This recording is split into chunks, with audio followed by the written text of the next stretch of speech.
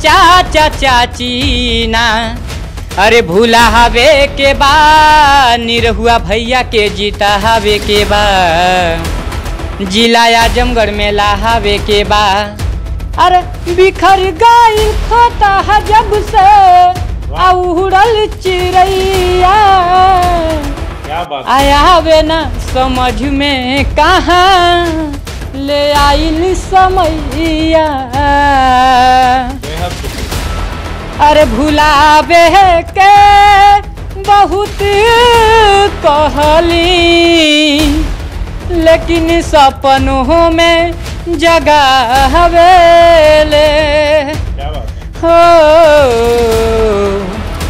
उपग याद आवेले उपगली याद आवेले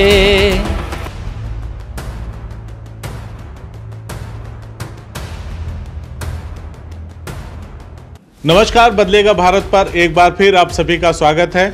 इस वक्त हमारे साथ हमारे स्टूडियो में मौजूद हैं एक बेहद ही शानदार, लाजवाब, भोजपुरी कलाकार, गायक कलाकार, जिनकी आवाज़ में जादू है। वो जादू कि जब वो गाते हैं तो ऐसा लगता है कि काली घटाएँ घिरने वाली हैं। जब वो गाते हैं तो ऐसा लगता है कि अब मेघा बरसने वाले हैं। जब वो गाते हैं तो लगता है कि कहीं दूर बाग में कोयल की कूक की आवाज़ आ रही है। अब आप सोच रहे होंगे कि मैंने बहुत बढ़ा चढ़ा के इनका परिचय करा दिया, लेकिन ऐसा नहीं है।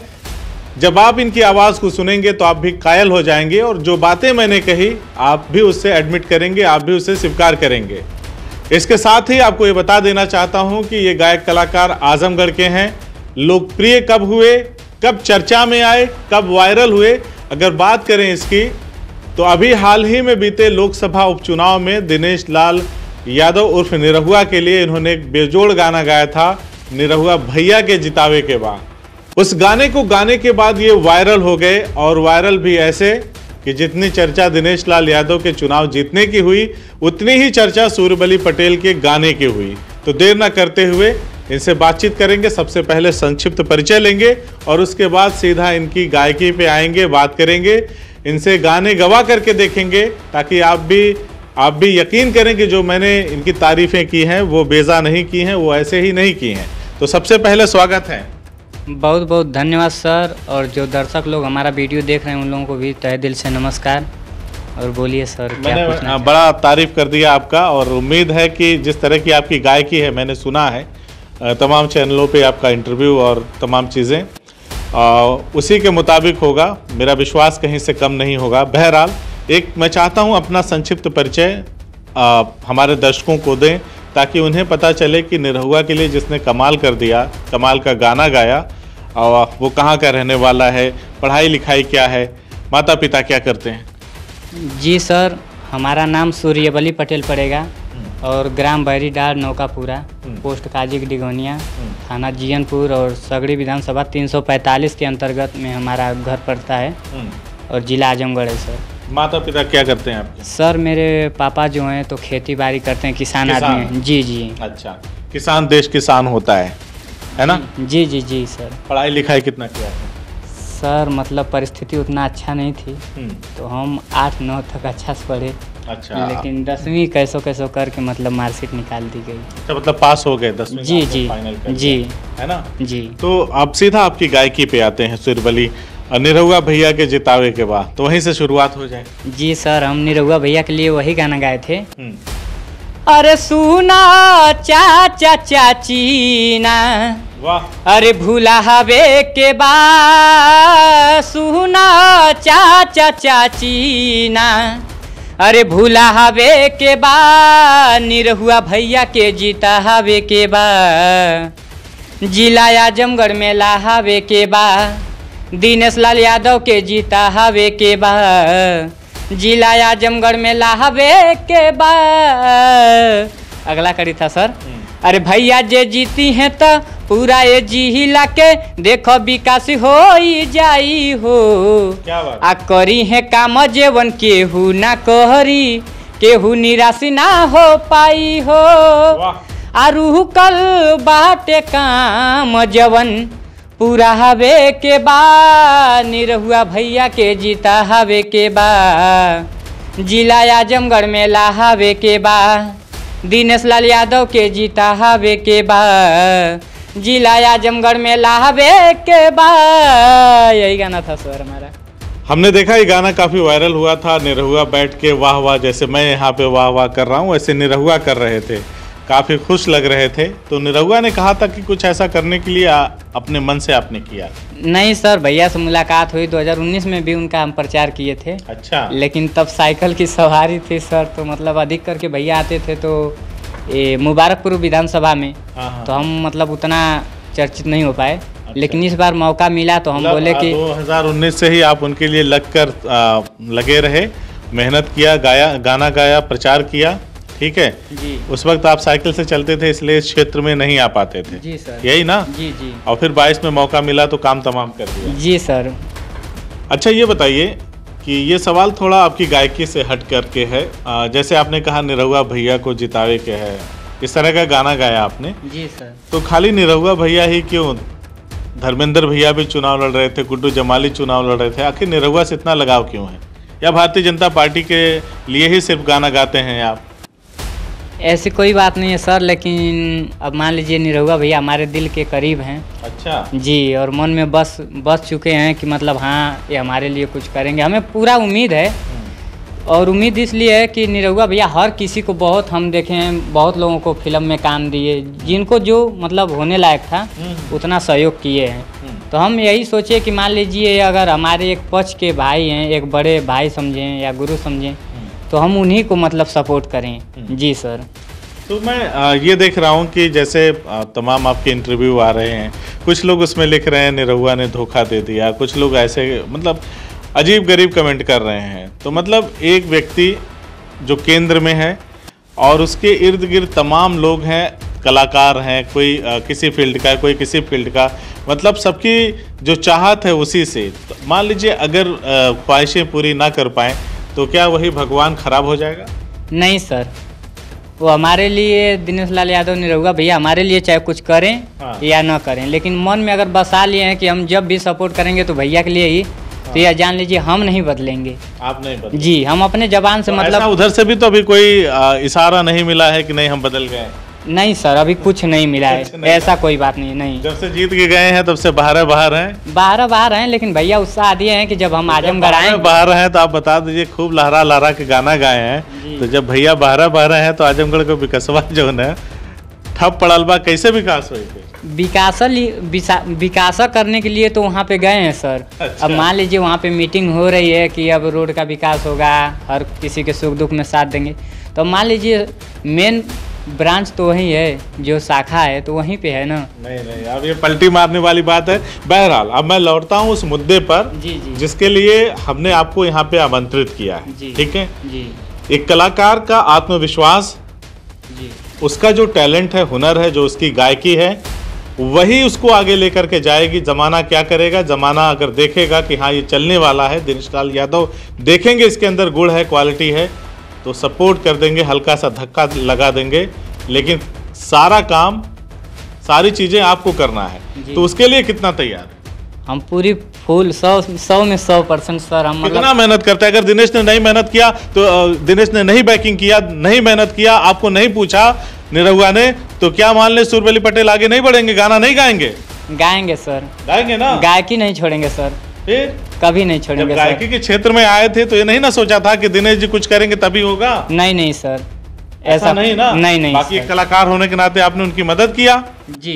इंसान इंसान की मदद करता है। बस बस सर वही बात ठीक है? जी। तब आप सूरबली क्या करेंगे? आगे बढ़ेंगे या इंतज़ार करेंगे? नहीं सर इंतज़ार भी रहेगा और हम अपना कार्य मतलब आगे बढ़ाते रहेंगे। तो क्या कर रहे हैं आप? सर इस समय मतलब गाना वाना गा रहे हैं। कुछ और सुनाइए फिर। सर एक गाना हमारा आने वाला है। हम्म, ऐसा मतलब सैड सॉन्ग है। हम्म, कि अरे दिल के दुनिया में आग हमरा लागल बा। क्या बात है। आ छोड़ के सुगना पिजड़बा के भागल बा। अरे हटे ना सुरतिया उनकर अरे भूल ना सूरतिया उनकर। आया ठो पहाड़ में। अरे मिले न मौत देखा। अब तो जहर में मिले न मौत देखा। अब तो जहर में। अगला कड़ी है सर। अरे बिखर गईल खोता है जब से। उड़ल चिड़ैया। आया बे ना समझ में कहाँ। ले आइल समैया बेहद खूबसूरत। अरे बिखर गईल खोता है जब से उड़ल चिड़ैया। आवे ना समझ में कहाँ लाइल समैया। आ नहिया के नाम हमर अरे नहिया के नाम अब तो अरे डूबल भवर में। अरे मिले न मौत देखा, अब तो जहर में। अरे मिले न मौत देखा, अब तो जहर में। क्या आवाज़ है? जो तारीफ़ मैंने किया था, आप आप भी मुतमिन होंगे। मुझे ऐसा लगता है कि आप भी मुतमिन होंगे जो भोजपुरी को समझते हैं, जो इसकी मिठास को इसके एहसास को आत्मसात करते हैं महसूस करते हैं। इस आवाज़ ने अंदर तक एक वेदना को एक पीड़ा को जगा दिया होगा। मेरा ऐसा मानना है। यार इतना दर्द किस लिए सूर्यबली? कहीं दिल टूट तो नहीं गया था? सर ज़िंदगी है उतार चढ़ा तो लगी इतना तड़प के साथ गाना जैसे आ, मतलब उस गाने में गाने तो होते ही हैं लोग गाते ही हैं लेकिन इतने फील के साथ गाना कि लग रहा था जैसे आपकी आँखों में आँसू आ जाएगा। सामने वाले तो सुनने वाले तड़प ही गए होंगे। जी सर ऐसा कुछ कुछ था है मामला ना? जी जी। बता नहीं रहे गुरु? मान रहे हैं सर जी। था कुछ मतलब अच्छा। बीत गया वो समय। बीत गया वो समय। अब सूर्य बली को सूर्य के जैसे चमकना है भोजपुरी इंडस्ट्री में और भोजपुरी जो गायकी की दुनिया है उसमें चमकना है। जी सर। है ना? जी। पूरा प्रण कर लिए हैं। जी बिल्कुल वाकई सर ये लड़का दिन रात मेहनत कर रहा है। अगर मैं बताऊँ और मैंने बात किया सूर्यवली से तो उन्होंने कहा भैया इस रिकॉर्डिंग के बाद वक्त में अगर बता दूँ आपको सच में बता रहा हूँ चार बजने वाला है ये घड़ी देख लीजिए चार बजने को है और ये लड़का यहाँ से फिर आजमगढ़ से गोरखपुर जाएगा रिकॉर्डिंग करने। तो सोचिए किस हद तक की मेहनत सूर्यवली कर रहे हैं। अब बस वक्त है किसी अच्छे ब्रेक का किसी अच्छी शुरुआत का जो सूर्यवली को सूर्य के जैसा चमका दे।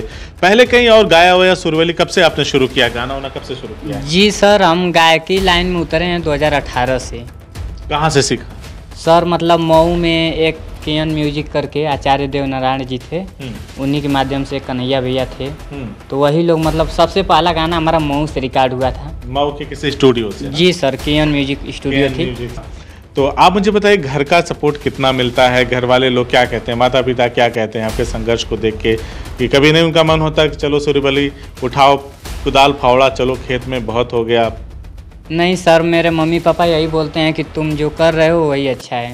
वही अच्छा है। जी मतलब वो लोग देखते हैं कि हमारा लड़का लगन से लगा है मतलब मेहनत कर रहा है। हम्म, अब कल का दिन मतलब कोई जानता तो है नहीं सर। लेकिन वो लोग उम्मीद लगाए बैठे हैं कि हमारा लड़का आज नहीं तो कल कुछ लायक ज़रूर हो जाएगा। दस रुपये कमाने लगेगा इंडस्ट्री में जो गायक हैं जी। वही अ, फ़िल्मों में भी अभिनेता का किरदार अदा करते हैं गानों में भी वही डांसिंग वगैरह करते हैं गाने भी खुद ही गाते हैं। तो इनमें से कौन सा पसंद है आपको भोजपुरी कलाकार जो लगता है कि हाँ यार इसे देख के कुछ कुछ होता है? नहीं सर देखिए कहने का मतलब हम आपसे झूठ नहीं बोलेंगे। हम हर किसी को देख करके हम सीखे हैं। हम ऐसा नहीं बोलेंगे ऐसा नहीं बोलेंगे कि अब मान लीजिए निरहुआ भैया के साथ हम प्रसिद्ध हो गए तो मान लीजिए उन्हीं का भाई। हम ऐसा कुछ नहीं जानते हैं सर हम आपसे छिपाने वाली बात नहीं। हम हर किसी को अपना प्रिय मानते हैं क्योंकि हम हर लोगों का गाना सुने हैं। और उन्हीं लोगों का गाना सुन सुन कर हमारे मन में एक उमंग आया कि मतलब हम कुछ करें हम भी मतलब कुछ करना चाहते थे।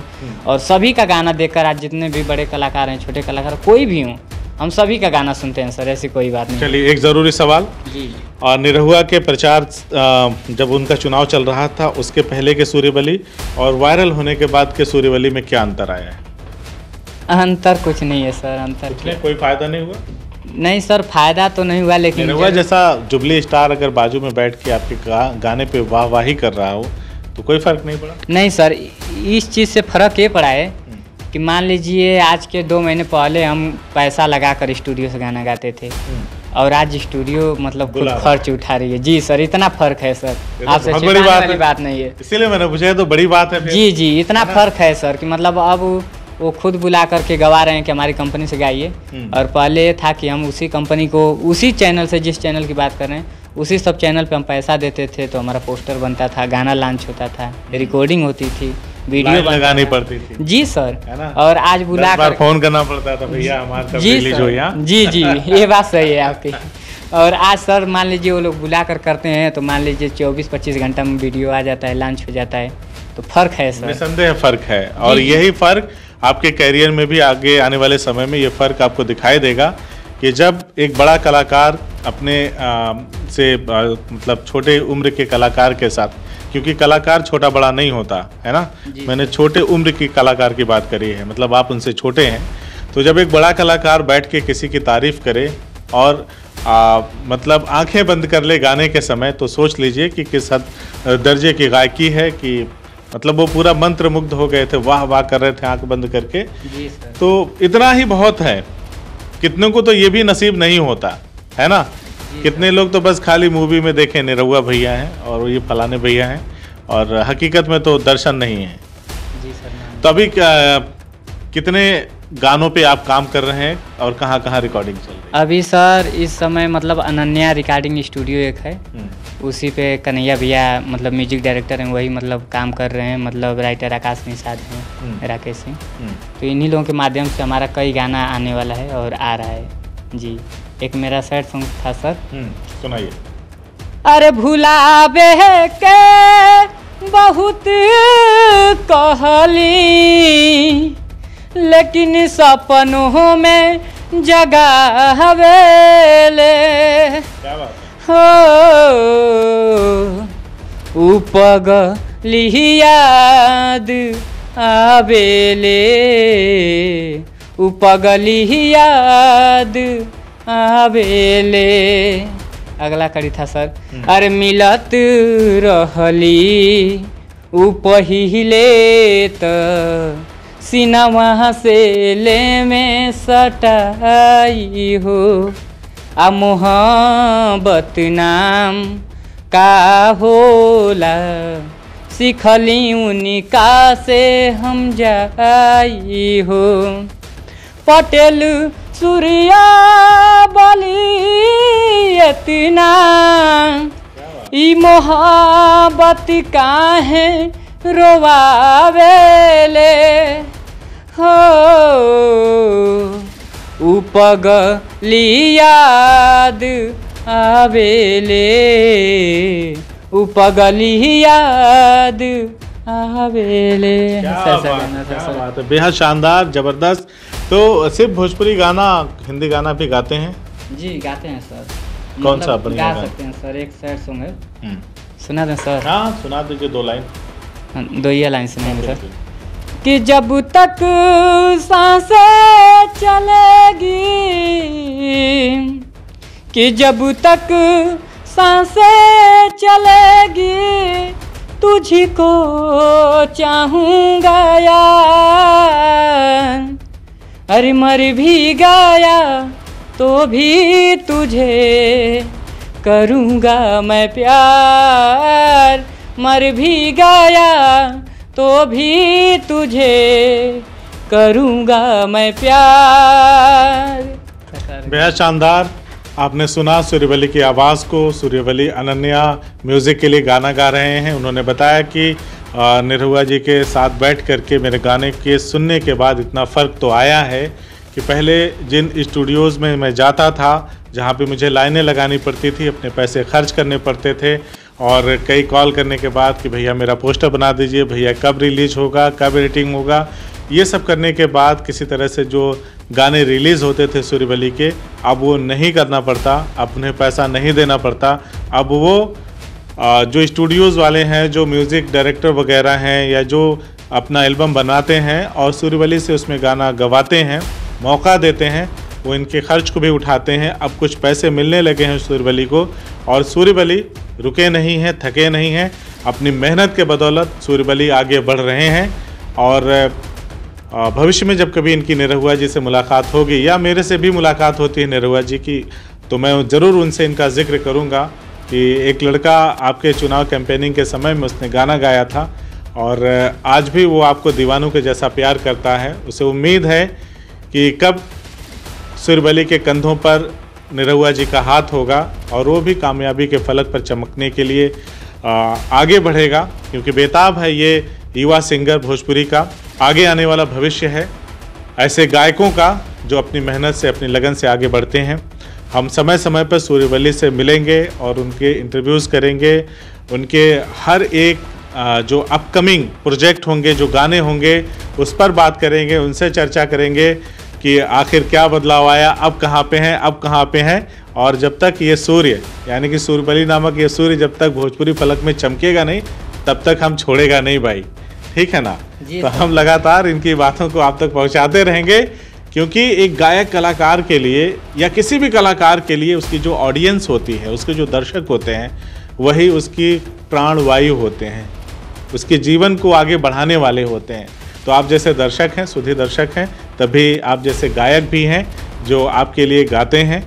हमारी शुभकामनाएँ सूर्यबली पटेल के साथ हैं और उन तमाम श्रोताओं से हम कहेंगे कि ज़्यादा से ज़्यादा इनको प्यार दें। अगर इनके गाने या इनकी आवाज़, या इनकी जो कहानी हमने आपको बताने की कोशिश की, वो अच्छी लगी हो तो हमारे चैनल को भी सब्सक्राइब करिए और ज़्यादा से ज़्यादा दोस्तों में शेयर करिए ताकि ये गायक जो मेहनत कर रहा है, ये भी वायरल हो और कामयाबी के आकाश पर पहुँचे। हमसे बातचीत करने के लिए बहुत बहुत धन्यवाद। धन्यवाद, सर।